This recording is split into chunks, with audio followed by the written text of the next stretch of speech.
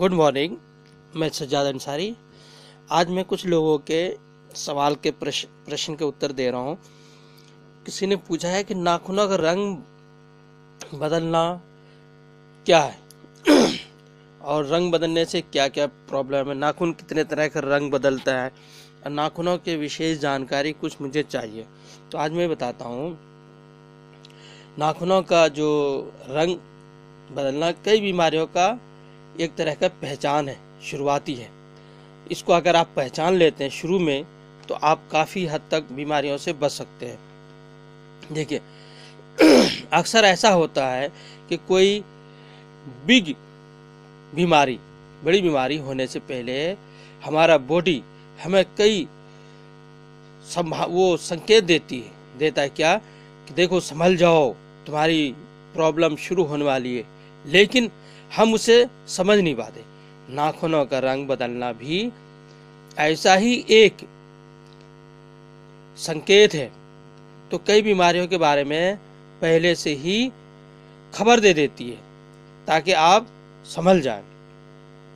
हमारा बॉडी बहुत ही हैरत अंगेज तरीके से काम करता है। इसकी एक बड़ी खासियत ये भी है कि ये अलग अलग प्रतिक्रियाओं के ज़रिए सेहत और तंदुरुस्ती, समस्याओं और पोषण की हालत में भी खबर करता है। नाखून का रंग और उसकी आकार, लंबाई भी हमें कई तरह की बीमारियों के बारे में जानकारी, सूचना देती है। जैसे देख लीजिए, मोटे नाखून हो गए, है ना? ये हालत फंगल इन्फेक्शन के वजह से होती है।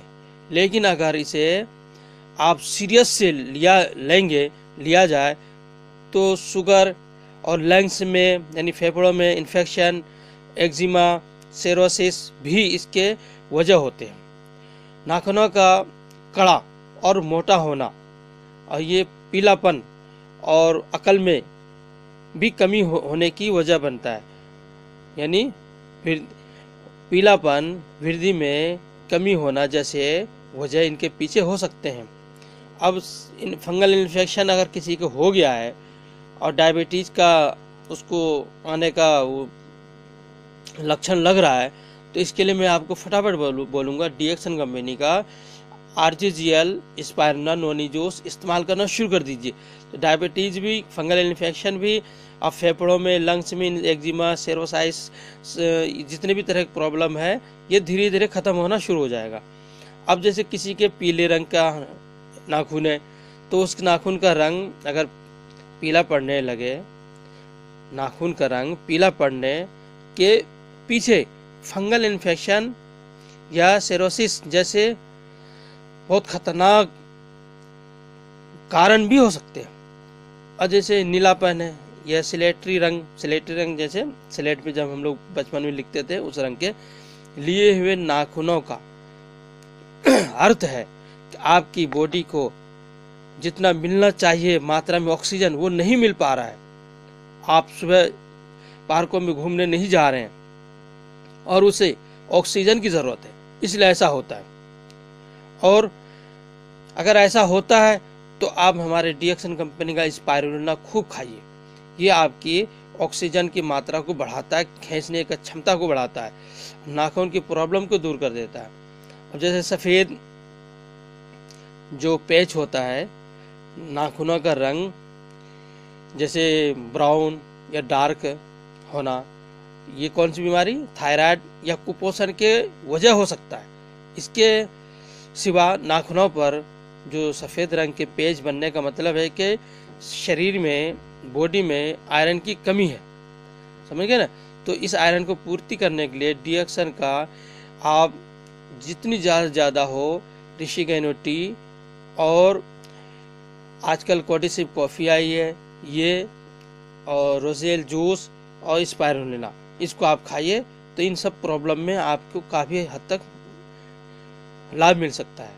अब जैसे बहुतों के कमज़ोर नाखून होते हैं, जैसे फटे पुराने वो होते हैं, झड़ने लग जाते हैं, रूखे, कमज़ोर और भुरभुरे नाखून जो जल्दी टूट जाते हैं। उनकी सीधा वजह होता है थायराइड या फंगल इन्फेक्शन से होता होता है ऐसा। जिसको इस तरीके से बीमारी है, वो इस तरीके से बीमारी से ऐसा उसका लक्षण आते हैं। ये एक तरह के फंक्स के वजह भी हो सकता है, जो आपकी स्किन वो माउथ पर रेशेस के शक्ल में सामने आते हैं। तो मुझे उम्मीद, इसके इलाज क्या है? तो इसका इलाज यही है कि डीएक्सन कंपनी का स्पायरुलिना और गैनोजी सॉफ ये सब चीज़ें इस्तेमाल कीजिए और साथ साथ में नॉनी जूस ज़रूर इस्तेमाल कीजिए। और अगर आरजीजीएल का आपके अंदर है कैपेसिटी खाने की तो वो भी खा सकते हैं। इन तमाम प्रोडक्ट को मंगाने के लिए आप मेरे से संपर्क कर सकते हैं। मेरा व्हाट्सअप नंबर है nine eight seven one two nine one five two six अट्ठानवे इकहत्तर उनतीस पंद्रह छब्बीस। आप यहाँ से संपर्क करके सारे प्रोडक्ट मंगवा सकते हैं।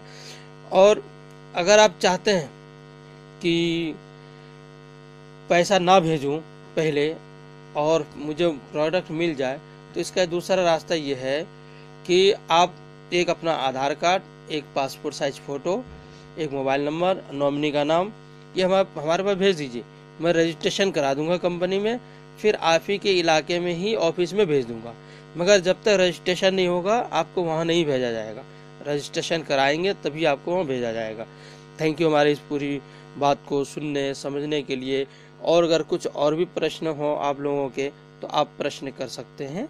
थैंक यू देखिए एक और मशवरा हमारे तरफ़ से कि अगर आप रेगुलर अपनी बॉडी के चेकअप कराते रहेंगे तो इसका ये फ़ायदा होगा कि आप रहते, वक्त रहते आप अपनी बीमारियों पे काबू पा सकते हैं। इसलिए कहते हैं डीएक्सन कंपनी का ऋषि का नोटी हमेशा पीते रहिए ताकि आपको चेकअप की ज़रूरत ही ना पड़े। क्यों?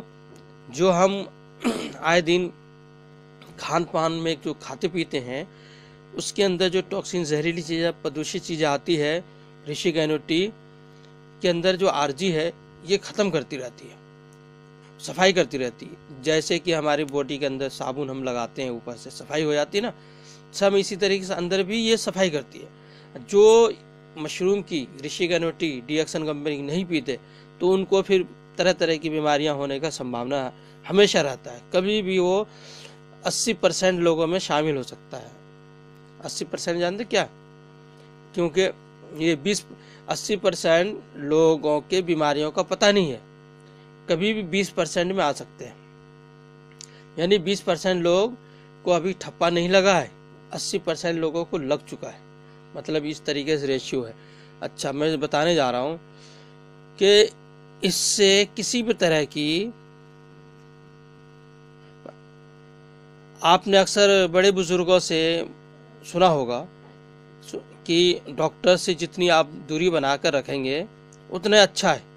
लेकिन ये कहावत अब आपके लिए नुकसान है। नुकसान साबित हो सकता है। कैसे? आज जब आप इस प्रदूषण वाली युग में और तरह तरह की बीमारियों से घिरे हुए ऐसे हालात में अगर आप नियमित तौर पर जितने चेकअप होते हैं, अगर नहीं कराते हैं तो क्या होता है? बीमारियाँ बढ़ती चली जाती है। जितने चेकअप कराएँगे, उतना ही अच्छा है। जानकारी इसलिए मैं जानकारी दे रहा हूँ कि आप ऋषि का नोटी पियेंगे तो बहुत अच्छे। जो नहीं पीते, ये सब चीज़ें आर्जिजल नहीं खाते, वो चेकअप कराते रहें तो पता चलेगा। बीमारी का जब पता चल जाए तो आप फ़ौरन हमसे संपर्क कीजिए, ताकि मैं आपको अच्छी से अच्छी मेडिसिन, यानी आर की बनी हुई प्रोडक्ट जो रोज़मर्रा इस्तेमाल करते हैं, आप चेंज करके इसको खा सकते हैं, पी सकते हैं। और हमेशा लगातार अपनी बॉडी, शरीर की जाँच के कई फ़ायदे हैं।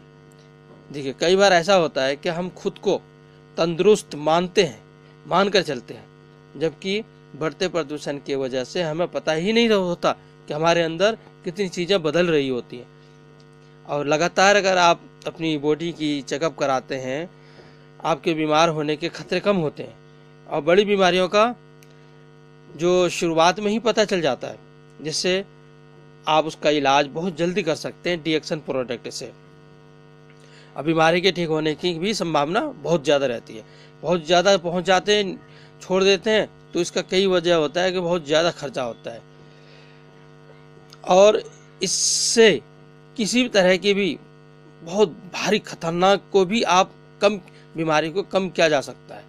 अगर आप रेगुलर चेकअप कराते हैं तो आप बहुत सारे ऐसे चेकअप है, जैसे प्रिवेंटिव चेकअप ताकि heart disease disease blood pressure cancer जैसी बीमारी हो तो उसका तुरंत पता चल जाए और वक्त पर इसका हल हो जाए, हो सके। हालाँकि ये ज़रूरी है कि आप हमेशा लगातार चेकअप अपने फैमिली डॉक्टर या किसी ऐसे डॉक्टर से आप कराइए, जो उसका बैकग्राउंड अच्छा हो, उसके समझदार अच्छे हो, आपके परिवार को अच्छी तरीके समझता हो, उनसे कराइए जी तो मैं आपको यही एक मशवरा देना था आप चेकअप ज़रूर कराते रहिए। हाँ। ये जो मौसम में जो बदलाव आती है तो इसके बारे में क्या है? इसके बारे में आप पहले से ही आर खाइए। मौसम के बदलाव को आप झेल लेंगे। समझेंगे ना? तो कई सारे चेकअप होती हैं, जैसे दृष्टि का चेकअप हुआ सेंस संवेदिक हो गया, है ना? और इन्फ्लुएंजा, और बहुत सारे चेकअप हैं। अभी इन सबको भी कराइए साथ में।